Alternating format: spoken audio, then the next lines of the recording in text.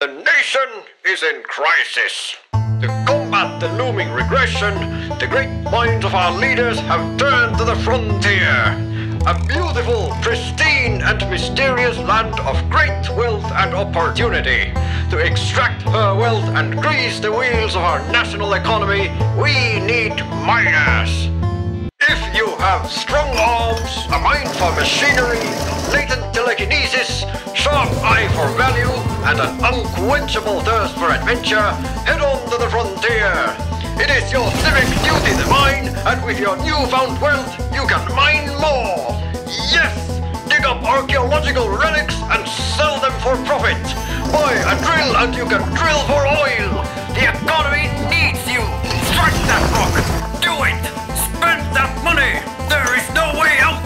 Invest in explosives. Where is the bottom? The nation. Time is a circle and so are you. Mine that hole. Sell those gems. It hungers. This has been a Frontier News broadcast. Apply for Frontier Mining today.